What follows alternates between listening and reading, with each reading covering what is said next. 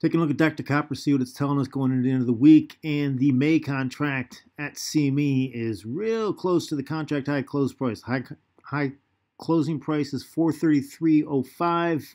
We're at 432.50 right now. See how that looks relative to the other exchanges. First, we're going to look at Shanghai Copper.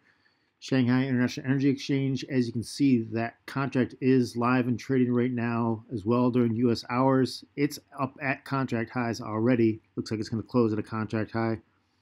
Take a look at the continuous three-month contract at LME, London Metal Exchange for copper, and yeah, we're up above the high closing price as well too. So that copper is talking strength.